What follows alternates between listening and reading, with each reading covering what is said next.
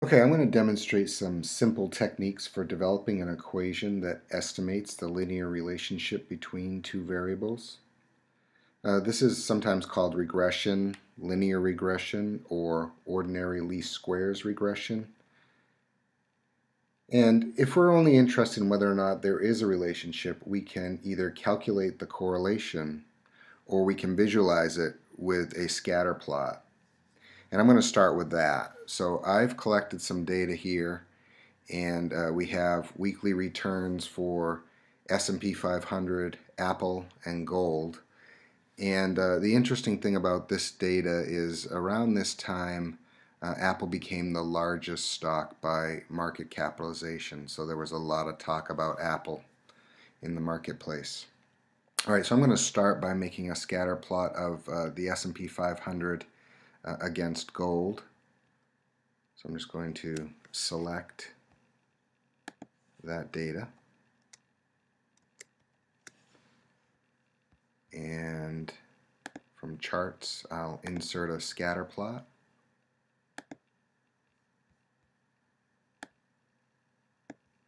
Okay, we don't really need the legend. But from the scatter plot, all right, if we were just trying to discern whether or not there is a relationship uh, we can see that, well, it doesn't look like we can predict anything about uh, how gold moves from S&P 500. Okay, I'm going to compare that now to a similar plot of uh, S&P 500 and Apple.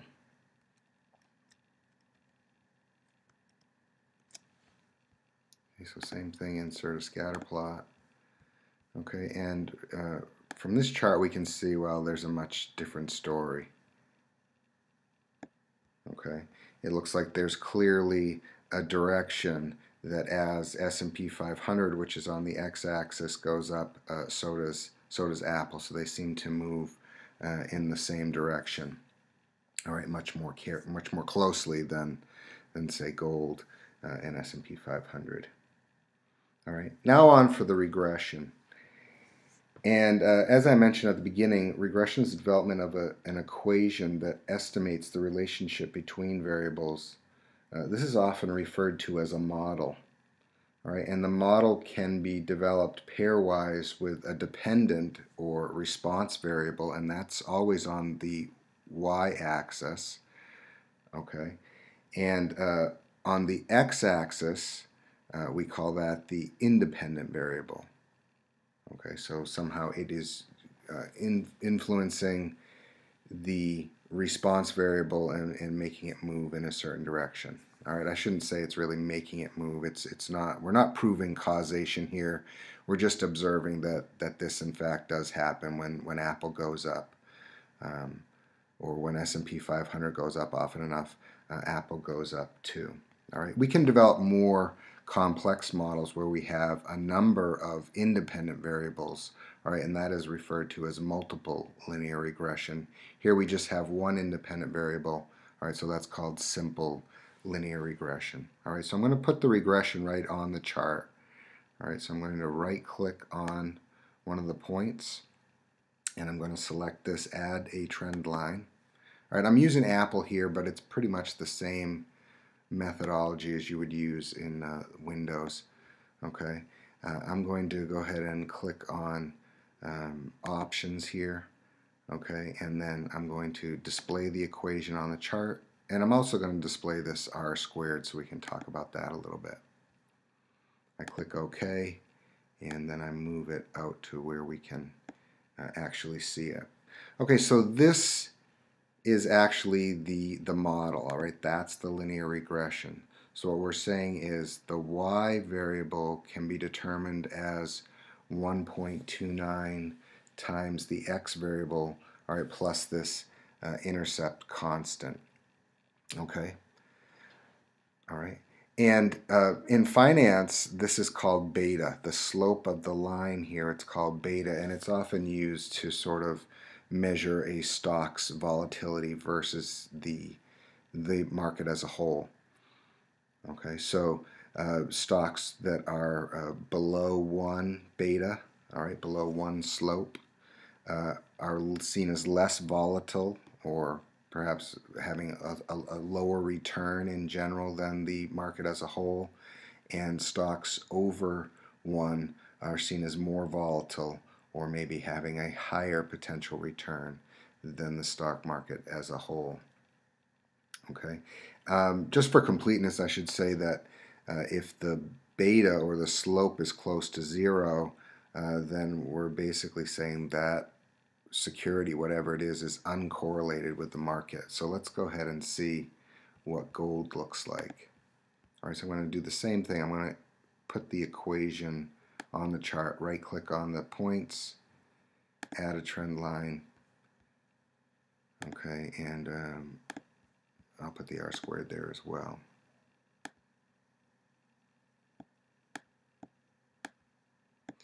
Okay.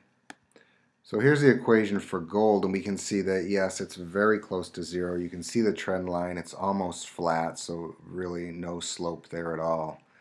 Okay, and so this is pretty, pretty conclusive that, you know, gold does not follow the stock market to any degree. It sort of moves on its own. All right, and this is why a lot of portfolio managers like to have gold in their portfolio uh, since it's uncorrelated with the market.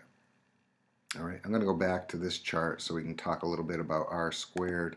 So R squared is also called the uh, coefficient of determination. Okay, and it tells how well the model actually fits the data.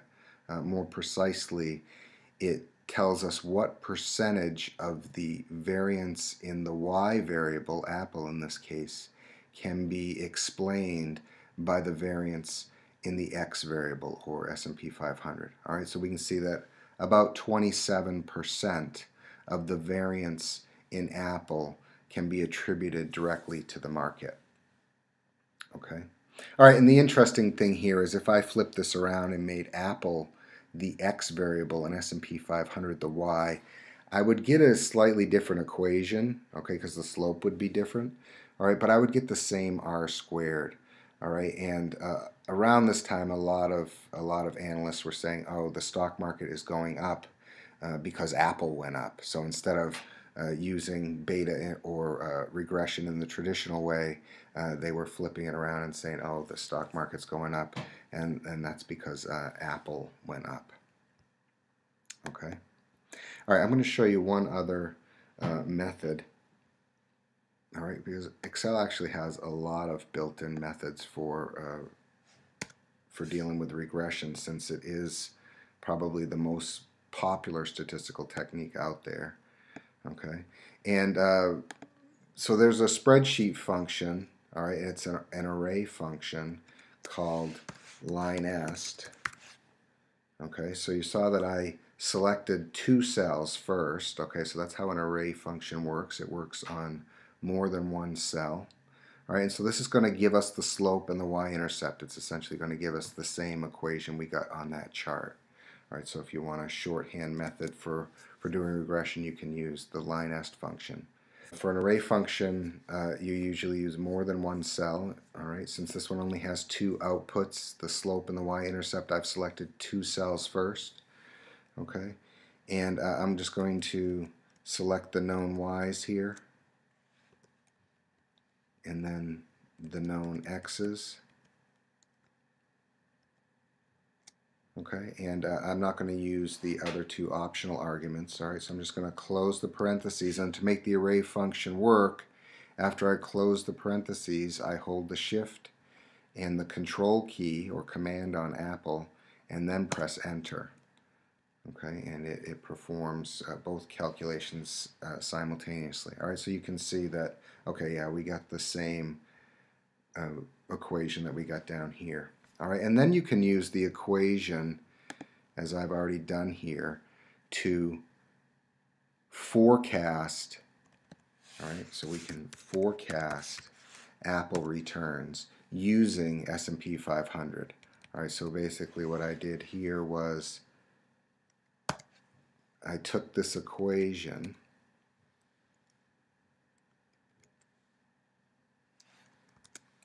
and I multiplied it by the return of the S&P and then I added in the intercept and the forecast return there is uh, just over 2.2%. Uh, all right, and then we can compare that to the actual return. All right, and if we uh, subtract one from the other and square it, we can estimate how well this model actually fits Apple returns. Okay. All right, so both those methods are really uh, shorthand methods for uh, conducting regression. So uh, the easiest way is to basically make the chart, put the equation out there. Uh, if you want to add some uh, functionality in the in the spreadsheet that you're working with, okay, you can use the LINEST function to estimate the equation. All right, and if you want some more technical uh, statistical analysis of the regression, all right, so we have not tested whether or not the, the slope is actually significant, all right, uh, among other things, um, you can actually use the, the data analysis ToolPak for that. And uh, I have a separate video uh, where I cover that. So I hope that helps, and uh, thanks for watching.